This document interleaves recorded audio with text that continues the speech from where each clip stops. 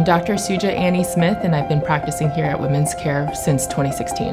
I chose the field of OBGYN because I felt like it was a really unique field in which we get to care for women both on a preventative uh, aspect and doing primary care, but we also get to see them and treat problems using surgical interventions, medical interventions, and we get to be part of a really exciting phase of life, which is the pregnancy and postpartum period as well.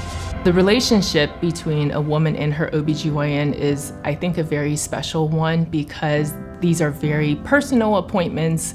And so I think it's very important to have a provider that you really feel comfortable with, that you feel listened to, and that can really help you treat your issues in a personalized level. And that's really what drew me to the field, but also uh, what we hope to accomplish with each of our patients. I really strive to be able to offer patients the top-notch care that we aim for here at Women's Care Florida.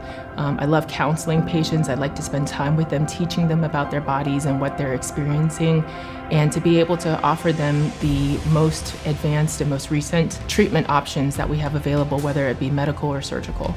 We really offer lots of different services here all under one roof.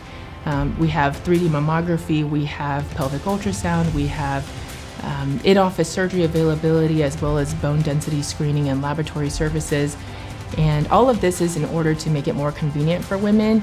Um, as a mom of two kids, I understand that women have very busy lives, and the more that we can make it convenient for women, the better um, to be able to get them the care that they want.